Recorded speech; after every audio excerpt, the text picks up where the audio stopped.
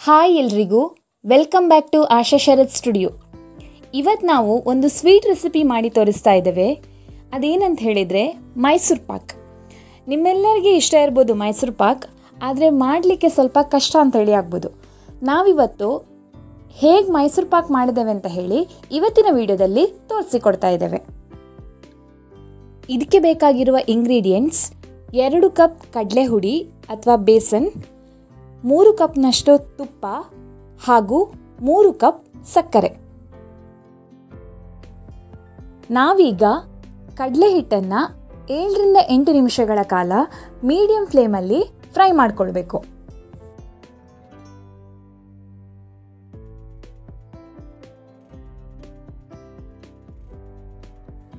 ಏಳರಿಂದ ಎಂಟು ನಿಮಿಷ ಆಗುವಾಗ ಬಣ್ಣ ಏನು ಹೆಚ್ಚು ಚೇಂಜ್ ಆಗೋದಿಲ್ಲ, ಆದರೆ ನಿಮಗೆ ಪರಿಮಳ ಬರಲಿಕ್ಕೆ ಶುರುವಾಗ್ತದೆ. ಸಕ್ಕರೆ ಪಾಕವನ್ನು ಈಗ ನಾವು ರೆಡಿ ಮಾಡಿಕೊಳ್ಳುವ. ಸಕ್ಕರೆ ಪಾಕ ಮಾಡಲಿಕ್ಕೆ ಮೂರು ಕಪ್ನಷ್ಟು ಸಕ್ಕರೆ, ಅದಕ್ಕೆ ಒಂದೂವರೆ ಕಪ್ನಷ್ಟು ನೀರು ಹಾಕಿ ಮೀಡಿಯಂ ಫ್ಲೇಮಲ್ಲಿ ಇದನ್ನು ಕುದಿಸಿ.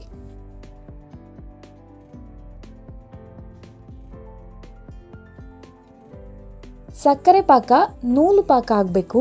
ನೂಲು ಪಾಕ ಅಂತ ಹೇಳಿದರೆ ನೋಡಿ, ಒಂದು ಡ್ರಾಪನ್ನು ನೀರಿಗೆ ಹಾಕಿದಾಗ ಅದು ತಳದಲ್ಲಿ ಹಾಗೆ ಉಳ್ಕೊಳ್ತದೆ. ಉಳ್ಕೊಳ್ಳಿಲ್ಲ ಅಂತ ಹೇಳಿ, ಅಂದರೆ ನೀರಿನ ಒಟ್ಟಿಗೆ ಮಿಕ್ಸ್ ಆಗಿದೆ ಅಂತ ಹೇಳಿ ಆದರೆ ನೂಲು ಪಾಕ ಆಗಲಿಲ್ಲ ಅಂತ ಹೇಳಿ ಅರ್ಥ. ನೋಡಿ, ಈಗ ನಾವು ಇದನ್ನು ನೀರಿಗೆ ಹಾಕಿದ್ದೇವೆ ಒಂದು ಡ್ರಾಪ್ ಆದರೆ ಇದು ನೀರಿನ ಜೊತೆಗೆ ಮಿಕ್ಸ್ ಆಗಿದೆ. ಹಾಗಾಗಿ ಇದು ನೂಲು ಪಾಕ ಆಗಲಿಲ್ಲ. ನಾವು ಇನ್ನೂ ಸ್ವಲ್ಪ ಹೊತ್ತು ಇದನ್ನು ಕುದಿಸ್ಬೇಕು. ಇದು ಟೈಮ್ ಲೆಕ್ಕದಲ್ಲಿ ಹೇಳೋದಂತ ಹೇಳಿ ಆದರೆ ನಾವು ಒಂದು ಇಪ್ಪತ್ತು ನಿಮಿಷಗಳ ಕಾಲ ಇದನ್ನು ನಾವು ಕುದಿಸಿದ್ದೇವೆ. ನಾವು ನೀರಿಗೆ ಹಾಕದೆ ಕೂಡ ನೂಲು ಪಕ್ಕಾಗಿದೆ ಅಂತ ಹೇಳಿ ಚೆಕ್ ಮಾಡ್ಬೋದು. ನೋಡಿ, ಸೌಟಲ್ಲಿ ಒಂದು ಡ್ರಾಪ್ ಕೆಳಗೆ ಹಾಕಿದಾಗ ಅದು ತುಂಬ ನಿಧಾನವಾಗಿ ಬೀಳ್ತದೆ. ಆ ಥರ ನಿಮಗೆ ಬೇಗ ಬೀಳಿಲ್ಲ ಅಂತ ಹೇಳಿ ಆದರೆ ಇದು ನೂಲು ಪಾಕ ಆಗ್ತಾ ಬಂದಿದೆ ಹೇಳಿ ನೀವು ಅಂದ್ಕೊಳ್ಬೋದು ಈ ಇಪ್ಪತ್ತು ನಿಮಿಷಗಳ ಕಾಲ ನಾವು ಸಕ್ಕರೆ ಪಾಕ ಮಾಡುವಾಗ ನಾವು ಇನ್ನೊಂದು ಒಲೆಯಲ್ಲಿ ತುಪ್ಪವನ್ನು ಬಿಸಿ ಮಾಡಲಿಕ್ಕೆ ಇಡಬೇಕು. ಮೈಸೂರು ಪಾಕ್ ಮಾಡಲಿಕ್ಕೆ ತುಪ್ಪ ಕುದಿತಾನೆ ಇರಬೇಕು. ಅಂದರೆ ತಣ್ಣಗಿರುವಂತಹ ತುಪ್ಪ ಆಗೋದಿಲ್ಲ. ಬಿಸಿ ಬಿಸಿಯಾದ ತುಪ್ಪ ಆಗಿರಬೇಕು. ಹಾಗಾಗಿ ನಾವು ಇನ್ನೊಂದು ಒಲೆಯಲ್ಲಿ ತುಪ್ಪವನ್ನು ಬಿಸಿ ಮಾಡಲಿಕ್ಕೆ ಇಟ್ಟಿದ್ದೇವೆ. ಈಗ ನೋಡಿ, ಈಗಾಗಲೇ ಫ್ರೈ ಮಾಡಿಟ್ಟಂತಹ ಕಡಲೆ ಹಿಟ್ಟು ಆರಿದೆ. ಇದನ್ನೀಗ ಜರಡಿ ಮಾಡಿಕೊಳ್ಳುವ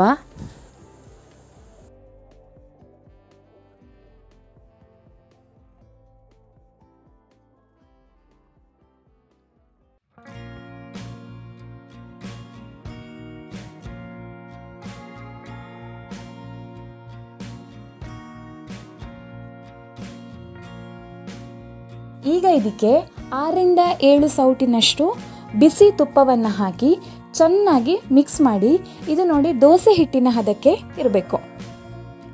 ತುಪ್ಪ ಹಾಕಿ ಮಿಕ್ಸ್ ಮಾಡುವಾಗ ಬಾಣಲೆಯನ್ನು ಒಲೆ ಮೇಲೆ ಇಡಬೇಡಿ.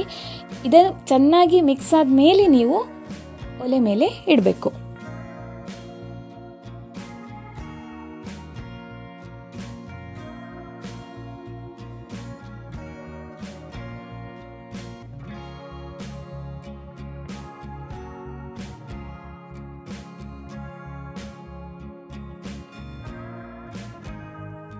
ಈಗ ಇದು ಚೆನ್ನಾಗಿ ಮಿಕ್ಸ್ ಆಗಿದೆ.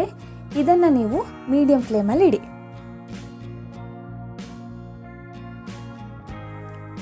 ಈಗ ಇದಕ್ಕೆ ಬಿಸಿ ಬಿಸಿಯಾದಂತಹ ಸಕ್ಕರೆ ಪಾಕವನ್ನು ಹಾಕಿ ಚೆನ್ನಾಗಿ ಮಿಕ್ಸ್ ಮಾಡಿ, ಮಾಡಿದಂತಹ ಎಲ್ಲ ಸಕ್ಕರೆ ಪಾಕವನ್ನು ಒಟ್ಟಿಗೆ ಹಾಕಿ ಚೆನ್ನಾಗಿ ಕಲಸಿಕೊಳ್ಳಿ.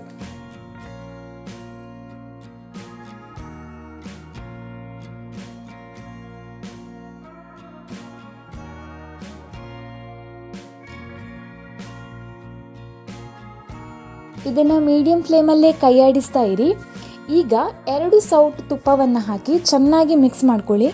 ಇದಕ್ಕೆ ಇಬ್ಬರು ಇದ್ದರೆ ಚೆನ್ನಾಗಿರ್ತದೆ. ಯಾಕಂತ ಹೇಳಿದರೆ ಒಬ್ಬರು ತುಪ್ಪ ಹಾಕೋದು ಹಾಗೂ ಇನ್ನೊಬ್ಬರು ಅದನ್ನು ಕೈ ಬಿಡದೆ ಕಲಿಸ್ತಾ ಇರಬೇಕು. ತುಪ್ಪ ಹಾಕುವಾಗ ಅದು ಒಮ್ಮೆಲೆ ಉಕ್ಕಿ ಬರ್ತದೆ. ಅದಕ್ಕೋಸ್ಕರ ನಾವು ಕೈಯಾಡಿಸ್ತಾನೆ ಇರಬೇಕಾಗ್ತದೆ. ಒಮ್ಮೆ ತುಪ್ಪ ಚೆನ್ನಾಗಿ ಮಿಕ್ಸ್ ಆದಮೇಲೆ ಮತ್ತೆ ಎರಡು ಸೌಟು ತುಪ್ಪ ಹಾಕಿ ಇದೇ ಥರ ಒಂದು ಲಾಸ್ಟ್ ಒಂದು ಸೌಟ್ ತುಪ್ಪ ಉಳಿಯುವಷ್ಟು ತನಕ ನೀವು ಹಾಕ್ತಾ ಹೋಗಿ ತುಪ್ಪವನ್ನು. ಈಗ ನೋಡಿ, ನಾವು ಮೂರು ಕಪ್ನಷ್ಟು ತುಪ್ಪವನ್ನು ಬಿಸಿ ಮಾಡಲಿಕ್ಕೆ ಇಟ್ಟಿದ್ದೆವು. ಮೈಸೂರು ಪಾಕ್ ಆಗುವ ತನಕ ಕೂಡ ಈ ತುಪ್ಪವನ್ನು ಹಾಗೆ ಬಿಸಿ ಮಾಡ್ತಾನೆ ಇರಿ. ಯಾಕಂತ ಹೇಳಿದರೆ ನಾವು ಬಿಸಿ ಬಿಸಿ ತುಪ್ಪವನ್ನು ಹಾಕಬೇಕಾಗ್ತದೆ. ಈಗ ನೋಡಿ ಆಲ್ಮೋಸ್ಟ್ ಎಲ್ಲ ತುಪ್ಪವನ್ನು ನಾವು ಮುಗಿಸಿದ್ದೇವೆ. ಇದು ಎಲ್ಲ ತುಪ್ಪ ಮುಗಿದ ಮೇಲೆ ಒಂದು ಐದರಿಂದ ಹತ್ತು ನಿಮಿಷದಲ್ಲಿ ನಿಮಗೆ ನೋಡಿ ಲೇಯರ್ ಆಗ್ತಾ ಬರ್ತದೆ ಈ ಮೈಸೂರು ಪಾಕ್, ಅಥವಾ ಸ್ವಲ್ಪ ಉಬ್ಬಿ ಉಬ್ಬಿ ಬರ್ತದೆ. ಆ ಥರ ಆದರೆ ಮೈಸೂರು ಪಾಕ್ ರೆಡಿ ಆಗ್ತಾ ಬಂದಿದೆ ಅಂತ ಹೇಳಿ ನೀವು ಅಂದ್ಕೊಳ್ಬೋದು.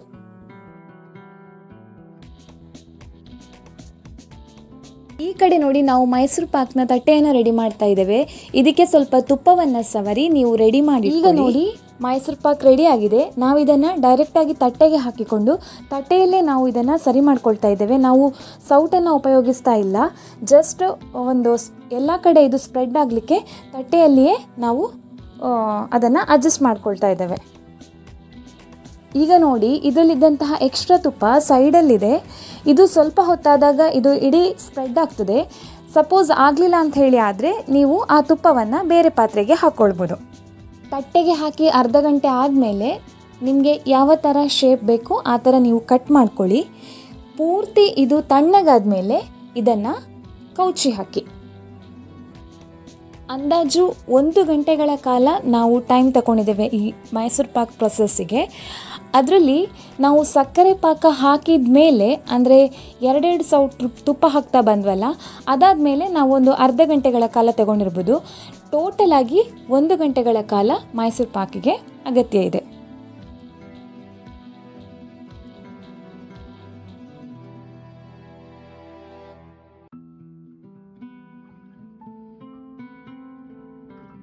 ನೋಡಿ ಪರ್ಫೆಕ್ಟ್ ಆದ ಮೈಸೂರು ಪಾಕ್ ರೆಡಿ ಆಗಿದೆ. ಇದು ಹುಡಿ ಆಗಲಿಲ್ಲ ಹಾಗೂ ತುಂಬ ಗಟ್ಟಿ ಕೂಡ ಆಗಲಿಲ್ಲ. ಚೆನ್ನಾಗಿ ಬಂದಿದೆ. ನೀವು ಕೂಡ ಒಮ್ಮೆ ಟ್ರೈ ಮಾಡಿ. ನಾವು ಹೇಳಿದಷ್ಟೇ ಇಂಗ್ರೀಡಿಯೆಂಟ್ಸನ್ನು ಹಾಕಿ ಮಾಡಿ. ನಿಜವಾಗ್ಲೂ ತುಂಬ ಚೆನ್ನಾಗಿ ಮೈಸೂರು ಪಾಕನ್ನು ಮನೆಯಲ್ಲೇ ಮಾಡ್ಕೊಳ್ಬೋದು. ಇವತ್ತಿನ ಸ್ವೀಟ್ ರೆಸಿಪಿ ನಿಮ್ಮೆಲ್ಲರಿಗೆ ಇಷ್ಟ ಆಯ್ತು ಅಂತೇಳಿ ಅಂದ್ಕೊಳ್ತಾ ಮುಂದಿನ ವಿಡಿಯೋದಲ್ಲಿ ಮತ್ತೆ ಹೊಸ ಕಾನ್ಸೆಪ್ಟ್ನೊಂದಿಗೆ ಬರ್ತೇವೆ. ಅಲ್ಲಿ ತನಕ ನಮ್ಮ ಚಾನಲನ್ನು ನೋಡ್ತಾ ನಮಗೆ ಸಪೋರ್ಟ್ ಮಾಡಿ.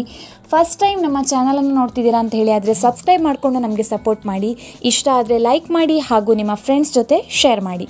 Thank you